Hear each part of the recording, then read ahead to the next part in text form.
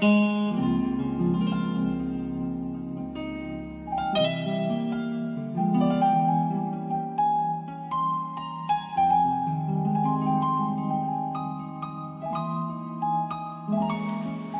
and sisters, it is time for the Word of God. Amen. At this time, Auxiliary Bishop Jerome Strickland is coming to present our leader. Let's say amen for him as he comes.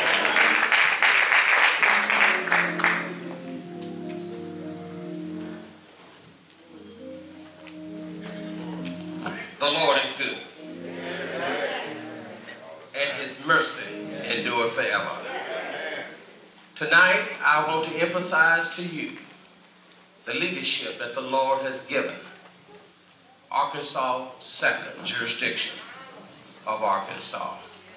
Let me preface my saying by saying this. Arkansas has been the birthplace, the seedbed of great leadership. We have birth presiding bishops, general board members, national officials. We have birth global evangelists and great leaders worldwide. In 1950, Bishop Manor Jones, who was over the state of Arkansas, God gave him the wisdom to divide the state. And the state brought forth six districts.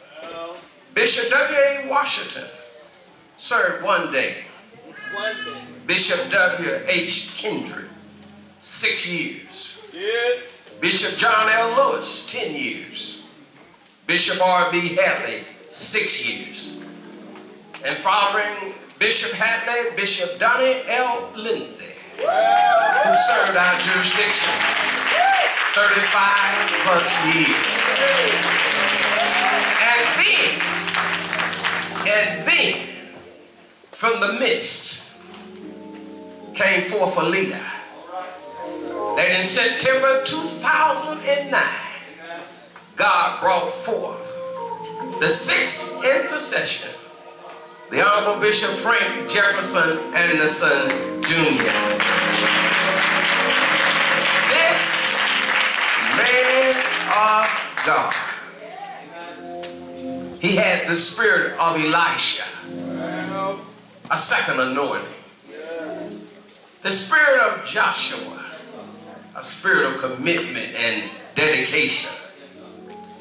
And through his leadership, we have moved from 15 districts to 23 districts. And thank God for his dynamic and awesome leadership. Let me give you a little history about this man of God who has a big heart and humble spirit. Called to the ministry at the age of 18.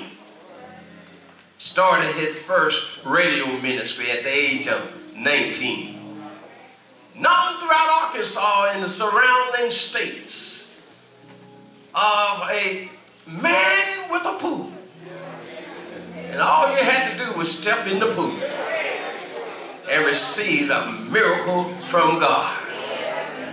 And ever since then, since 1966, he has given the Arkansas second jurisdiction leadership.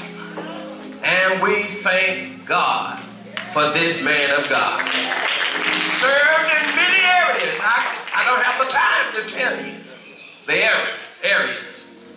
But like Paul said, you know my life. You seen, you seen the work I've done.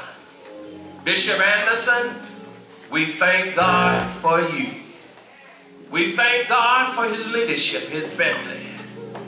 And I pray that you will pray with me that God would anoint him as never before on this night to speak to the people of God.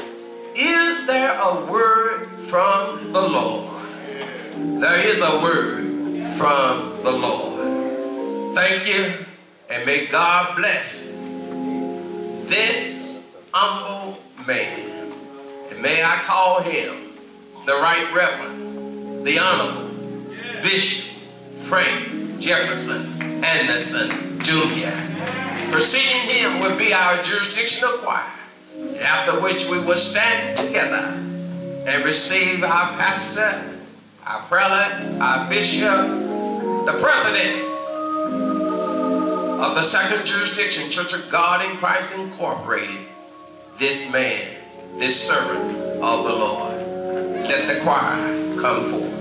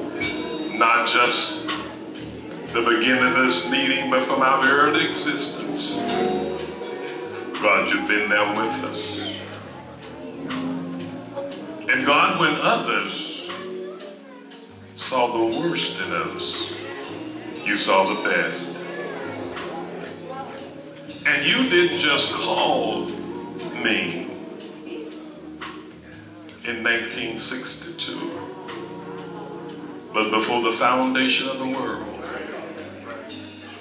you called me, you ordained me, and set me on a course to reach my destiny in you.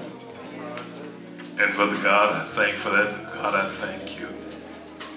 I thank you for peace amid confusion, amid a pandemic. God, hallelujah. God, you've been there with us. And for that, God, I thank you. Thank you for all these leaders,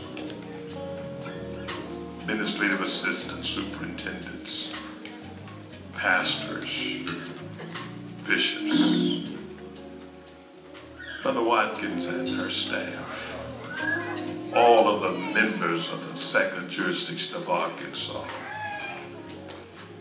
and our Facebook families that's watching all over. We thank God for you. Thank God for Lady Anderson that's watching and for the greetings that she shared with us and for what you're doing in her life. Thank you. And your blessings, oh God, uh, give us what to say, how to say what you give us to say, and we say it with all of our might. Now that the words of my mouth, the meditation of my heart, be acceptable in thy sight, O Lord, my strength and my redeemer. Every word that I utter, I want you to rescue them and make them thine. Hide me behind the cross that men will see thee and glorify the Father. It is in the matchless name of Jesus Christ we pray. Thank God. Amen. For I reckon, before you take your seat, for I reckon that the suffering of this present times are not worthy to be compared with the glory which shall be revealed in us. If God have done anything for anybody in here, I want you to shout glory. If he woke you up this morning, shout glory.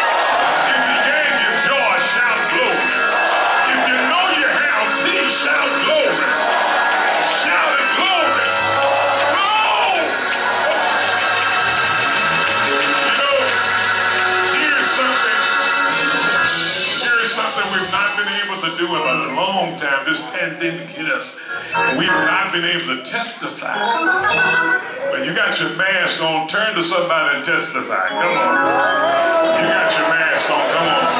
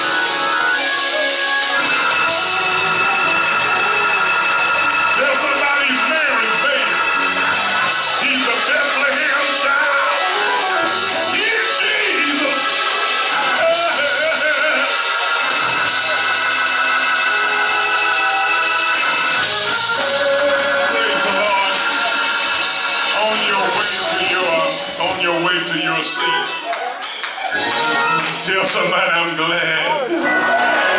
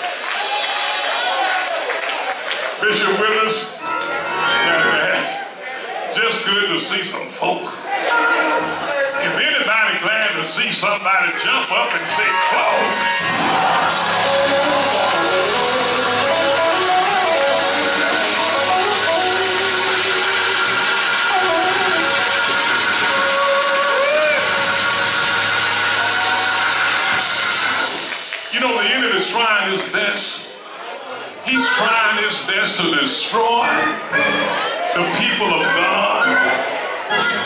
Amen. But look at somebody and tell them every evil thing uttered against you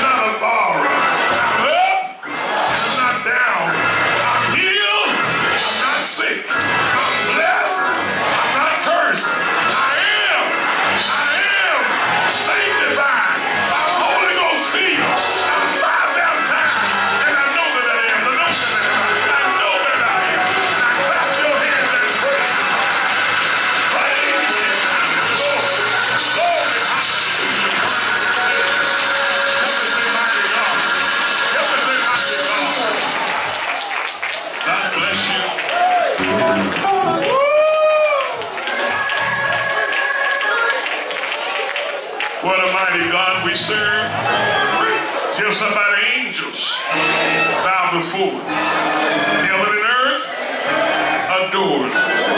What a mighty God we serve. I thank God for his blessings and amen. I just love the Lord.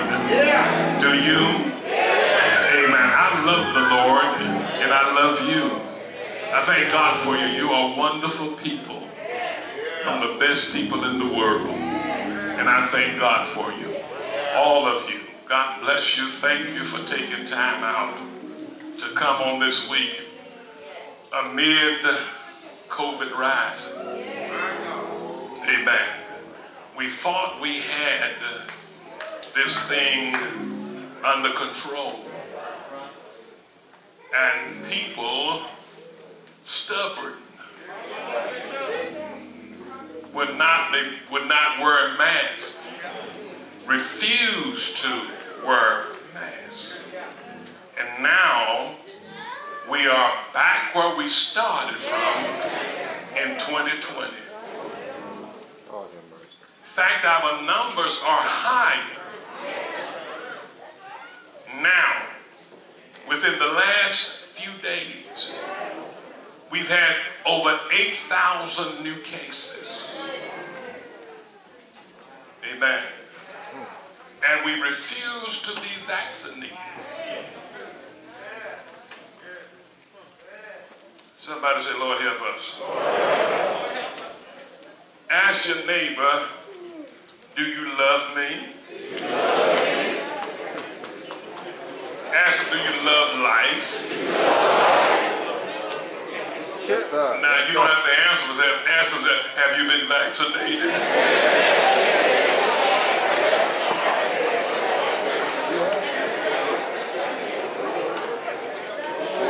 If you love me, amen, I know that we're saying that uh, the Lord, He's going to take care of us, and I know that. I, I know that. And we say this way. We, we, we've had a whole lot of folk that talk like that. They go on the globe.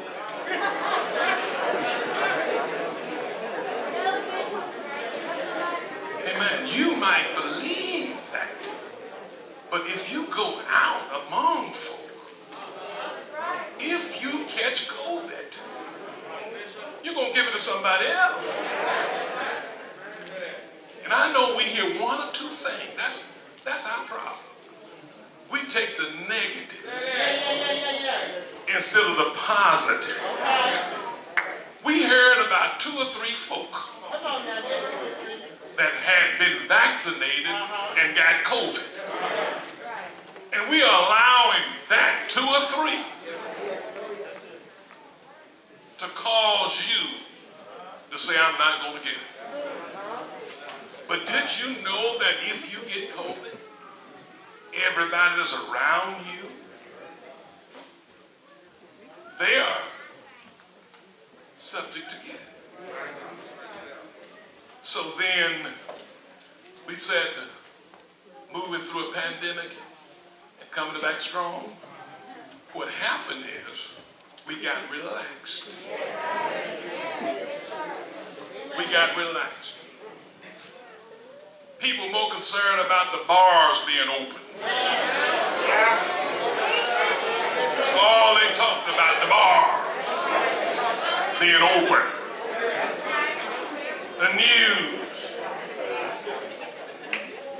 Amen. They was jumping and shouting about we can go do this now. But COVID, catch this right here, even when we get it under control, COVID will still be with us. The measles are still with us. Smallpox. Those are virus. So even though we get this thing under control through vaccination, we still will have COVID with us. COVID is just like the flu. The flu is a virus. And every year the flu comes back. COVID gonna come back. But we just got to know how to navigate as a church, as a people, through this pandemic. It's a pandemic because it's worldwide. Amen. Us tonight. February of 2020, we started hearing about a virus that was coming out of Wuhan, China. Our president called it the China virus. We didn't think much about it because the president kept talking it down, saying it was a hoax and it would be over by Easter. Easter came. And the numbers kept going up. Sold a bill of goods to the senators, congressmen, and they start spreading the same thing that the president is a hoax. Lord help us. But uh, somewhere between February, April, May, June, sporting events start shutting down. Entertainment centers start closing down. Finally, the churches. In my life, I couldn't even, could not ever remember no service on Easter. Mother Day came, no celebration. Father Day came, no celebration. The news started coming in about people dying. Bishops, supervisors, superintendents, pastors, lay members in the church of God in Christ. Someone even tried to say that God was working against the church of God in Christ. It's not that, that was, that's what was happening. It's because we are a fellowship in church. When Bishop Withers have his meeting, we're over there. When we have our meeting, they're over here. And that's what was going on in Michigan, Mississippi, Louisiana, all of those areas because we fellowship. And we were not really paying attention to how deadly this thing was. Because we were listening not to the experts, but to the president. Therefore, we lost loved ones And the sad thing was that we couldn't even be there to whole day while they made their transition. Couldn't even go to the hospital to see them. Sad thing, our elders in the nursing home who lived to see us come by. We couldn't go by. And I thought it was sad that you had to sit out, stand outside the window and watch your loved one through a window glass. Somebody said, Lord, help us. Uh, we said that what we need to do. Said I'm that fear, people start being afraid. We told our congregation that perfect love cast out all fear. But somebody said, yeah, but Pastor, I'm scared.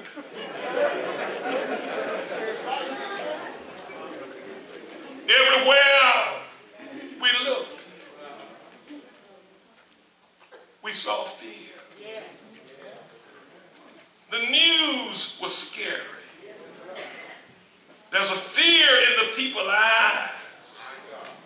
We started looking to the Bible for the answer to this crisis. There's now a pandemic. God gave us his word in Isaiah, the 43rd chapter. We found courage in this beautiful assurance for the days to come. This is what it says. Do not fear, for I have redeemed you. I have summoned you by my name. You are mine. When you pass through the water, I'll be with you. And when you pass through the rivers, they will not sweep over you. And when thou walkest through the fire, thou shalt not be burned, neither shall the flame kindle upon you. Lord, help us. We need to know that in the midst of all of this that's going on, that there is a God. And we're not going to just barely come out of this. We're coming out strong. You better tell somebody I'm coming out of this. And I'm coming out strong. Tell God, thank you, somebody. The movement that we saw, the thing that was happening, looked like our churches was going to New Zealand. But when this thing hit us, no, we were not prepared. And look like right now, we're being thrown back. And we really don't know what the next few days are going to bring.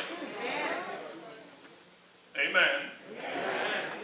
But since we have learned how to navigate, since we have learned that the mass helps us, since we learned that social distance helped us, since we know, learned that washing our hands, wash my hands so much my hand was looking at me.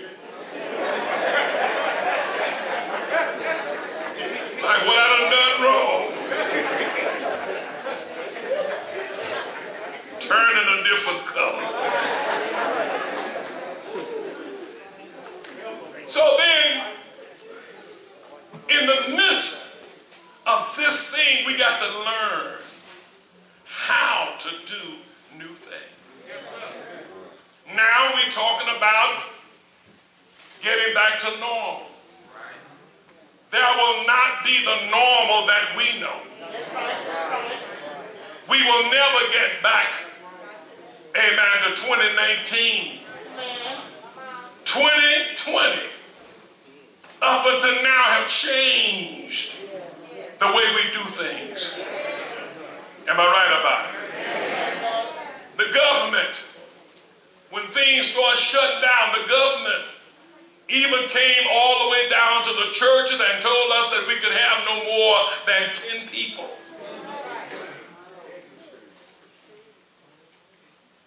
We did everything that we could to keep people together. Thank God for Facebook. Thank God for social media. And some of you have learned TikTok.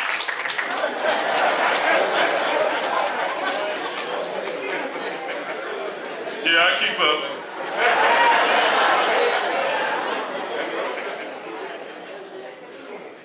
But in the midst of all of the thing that's going on, we found out that more people start praying.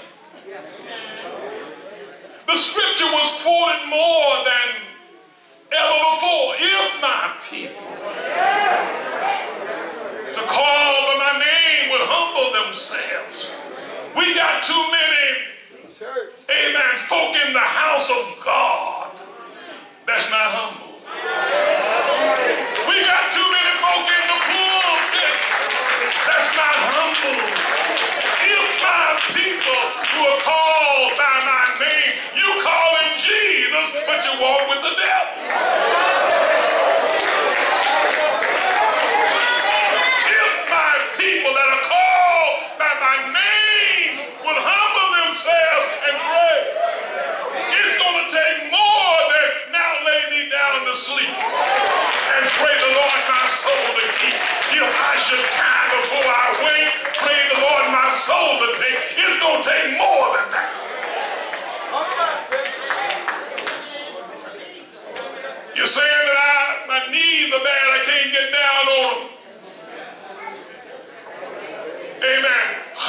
yourself in a posture. If you can't get on your knees, bow yourself to let God know you're not standing up to Him. You humble yourself before Him, the Almighty God.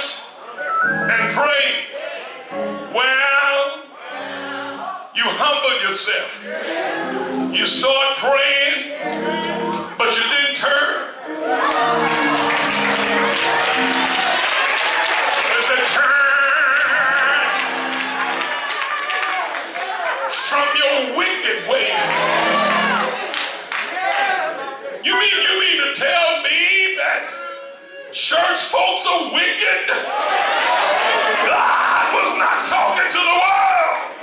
He was talking to the house whole of faith. Turn from their wicked ways. And there is no kind of wickedness like wickedness in a church.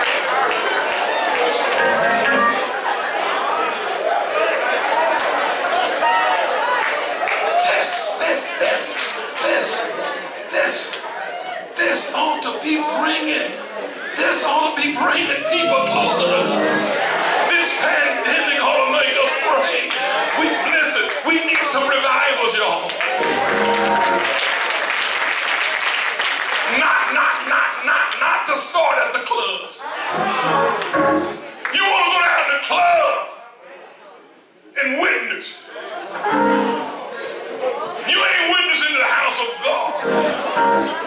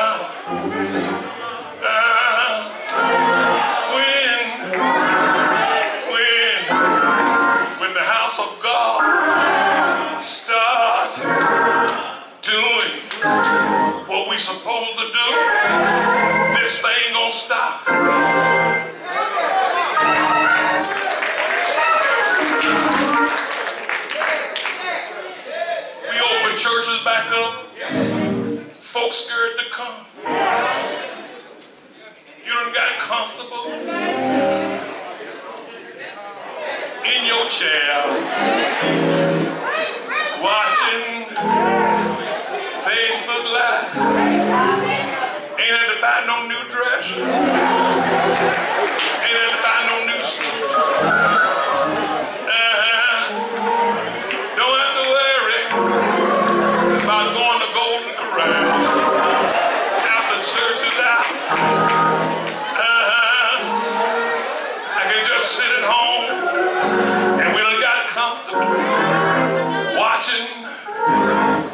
church service in your night clothes.